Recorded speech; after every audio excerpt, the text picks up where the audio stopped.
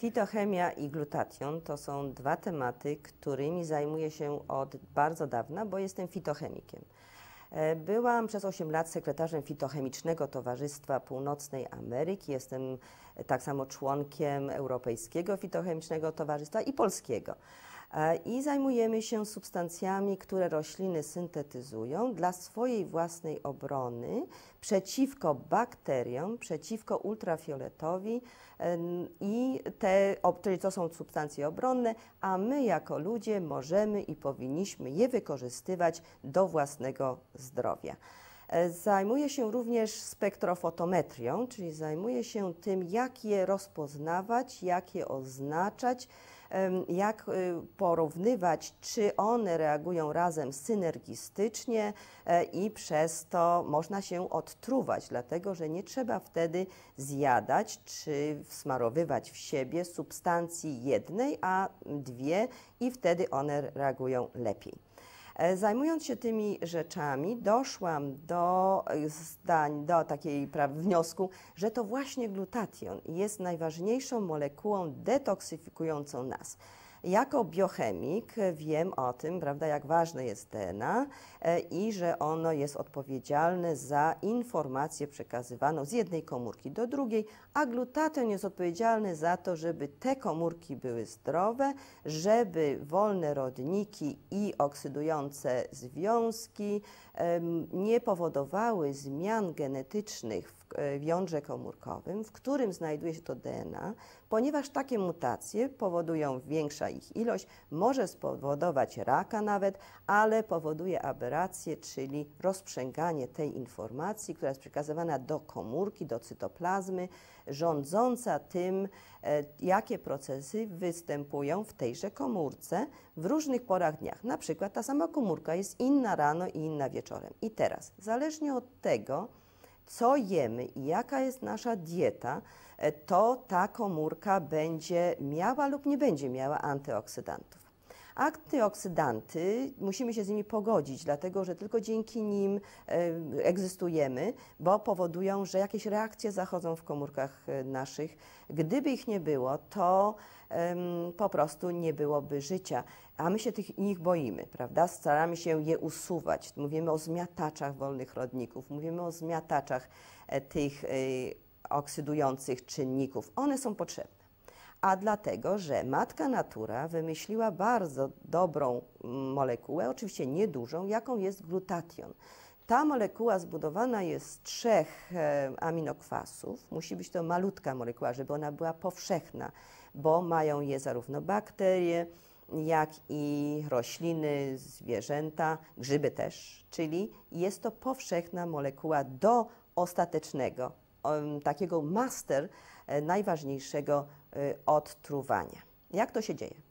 My y, mamy również inne molekuły, bo to jest duża siatka tych, tych reakcji, które zachodzą e, i najgorsze są te wolne rodniki, które są malutkie. I takimi wolnymi rodnikami grupa OH, kiedy ma elektron, e, grupa NO, jak ma też elektron dodatkowy, a jeden elektron, e, jak jest niesparzony, to, czyli nie jest w parze, to jest groźne. My tak, tak samo jak ludzie. Jak my jesteśmy w parze, to nam jest tak wesele. Jak jesteśmy pojedynczo, to jesteśmy albo bardziej agresywni, albo prawda, nieaktywni.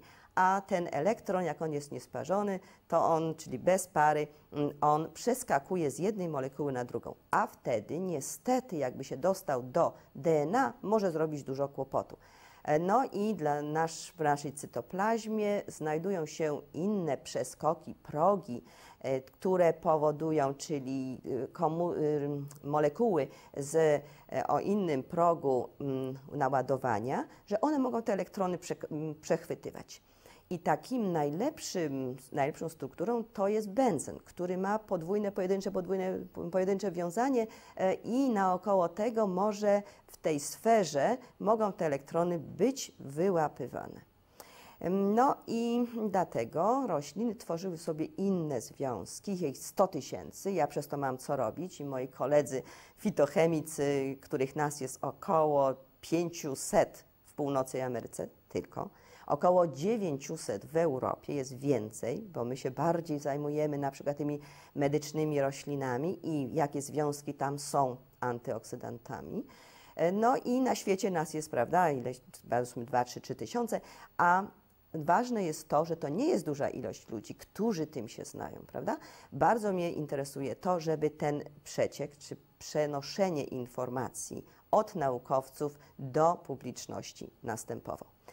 E, I tych związków jest 100 tysięcy. Rośliny je wytworzyły w takim celu, żeby one były coraz większe, czyli coraz mniej mobilne na terenie cytoplazmy, czyli nie było tej możliwości przenikania tejże e, molekuły do jądra komórkowego, gdzie w DNA zrobione by były jakieś negatywne e, reakcje. I takimi molekułami, które za to są odpowiedzialne, o których teraz wiemy, to są alfa-benzopyrony i gamma-benzopyrony. Alfa-benzopyrony to są pochodne kumaryn, jest ich około 2000 różnych związków i one mają dwa pierścienie. Jeden to jest benzenowy pierścień, a drugi jest pyronowy pierścień. W pozycji alfa jest tlen. No i polega to na tym, że jest mała molekułka, prawda? Więc wtedy z tych na przykład związków jak NO, które mają elektron, może ten elektron być przekazywany na właśnie ten alfa-benzopyron, a później może być przekazywany na gamma-benzopyron, który ma dodatkowo jeszcze jeden benzenowy ring. Czyli jak są te dwa prawda, pierścieniowe pierścienie, to one mają większą możliwość tego wychwytywania dwóch załóżmy elektronów, a poza tym ona jest troszkę większa, więc bardziej stabilna na terenie cytoplazmy.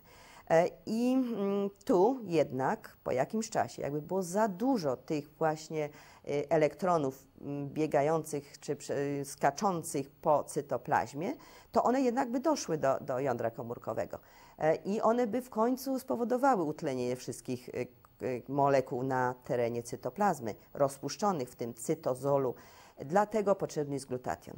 On jest syntetyzowany z prekursorów, które muszą być wnoszone na teren komórki. On sam jest niewnoszony na teren komórki. Jest to bardzo ważna cecha naszych komórek, że w cytoplazmie, w tej plazma on się musi tworzyć, a plazma lemma, która otacza komórkę, tak zwana prawda, błona komórkowa, która, czy plazma membrana, która jest na zewnątrz, powoduje, ma tylko wynośniki tego glutationu. On, jeżeli zostanie utleniony, to może być sam w postaci utlenionej, albo również z toksynami, takimi jak metale ciężkie, wynoszony poza komórkę. Czyli ta komórka jest, jest zdrowa, ta komórka prawda, ma balans odpowiedni antyoksydantów na swoim terenie. I to właśnie on z powrotem witaminę C i witaminę E które są nazwane antyoksydantami, bo są nimi na pewnym etapie, redukuje z powrotem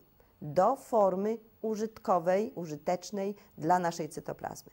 Gdyby nie było glutationu, witamina C i witamina E byłyby bardzo groźne, bo same zostałyby wolnymi rodnikami. Witamina C jako chemik wiem, ma pięć tlenów, czyli jest naprawdę bardzo groźnym utleniaczem w momencie, kiedy sama się utleni, bo zredukuje jakąś inną molekułę. Musimy wiedzieć, że w chemii i w biologii też, ale w chemii szczególnie, mm, reakcje zachodzą w dwie strony, czyli w jedną stronę jest utlenienie, w drugą redukcja. Czyli jeśli coś zredukujemy, to coś musi się utlenić. I ten wspaniały redukujący związek, jakim jest witamina C, się utleni. A na, tutaj mamy genialny glutation i on właśnie powoduje redukcję e, tej molekuły do zredukowanej witaminy C. A sam ulega wyrzuceniu na zewnątrz i wychodzi prawda, z naszego organizmu przez nerki, jest usuwany. Stąd mam nadzieję, że uda mi się w przyszłości opowiedzieć też więcej na temat tych 100 tysięcy różnych związków fenolowych, dzięki którym nasza fizjologia jest taka, a nie inna, czyli jest pozytywna. Bo niestety, nawet w najlepszej, najwspanialszej mojej Kanadzie, e, której, w której dbam bardzo mm, o to przez rząd na przykład y, pogadankach i nie tylko ustawami, żeby było jak najmniej toksyn. Co 10 lat podwaja się ilość toksyn i my je na przykład wdychamy. Wdychamy 2 kg powietrza dziennie i z nim te toksyny wnikają. Wtedy, mając wysoką pulę glutationu, możemy te toksyny usuwać. I muszę powiedzieć, że tylko dzięki temu jeszcze nie, prawda, żyjemy na tym świecie, że nasze komórki mają glutation, ale on musi być syntetyzowany przez komórkę a wyrzucany na zewnątrz. 60% na przykład pestycydów jest usuwanych właśnie z glutationem. Jaka to wspaniała y, jest y, molekuła, która nas detoksyfikuje. Musimy w takim razie znaleźć teraz bardzo tanie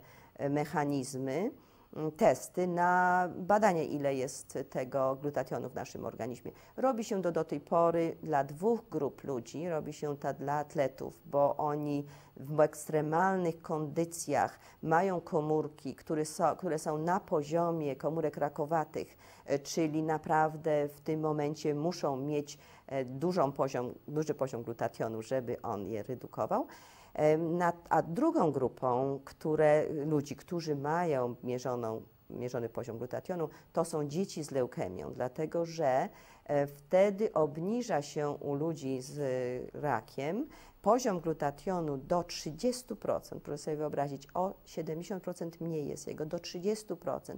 I jeśli się ma taki niski poziom glutationu, to jakiekolwiek reakcje, jakie u nas zachodzą, nawet walka z tymi komórkami rakowymi i tworzenie w tym układzie e, właśnie tych oksydantów i wolnych rodników spowoduje, że ta osoba nie ma szans, e, czy mam niewielkie szanse na powrót do zdrowia.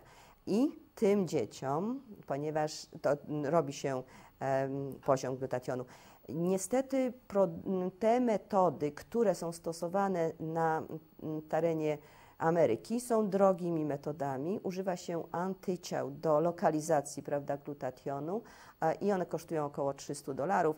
Ja osobiście od trzech lat z profesorem e, Dąbrowskim z UJ-u tworzymy polski mm, produkt, to nie jest, nie jest produkt, to jest metoda histochemicznego oznaczania tego glutationu, bo muszę powiedzieć, że mam wspaniałych współpracowników na terenie około pięciu, no przepraszam, jak już policzę to sześciu uniwersytetów w Polsce i zajmujemy się E, właśnie e, oznaczaniem glutationu. Mam nadzieję, że to w najbliższych miesiącach będzie e, to wytworzone i już będziemy mogli wiedzieć, ile mamy glutationu. Będziemy mieli dużo glutationu, będziemy zdrowi.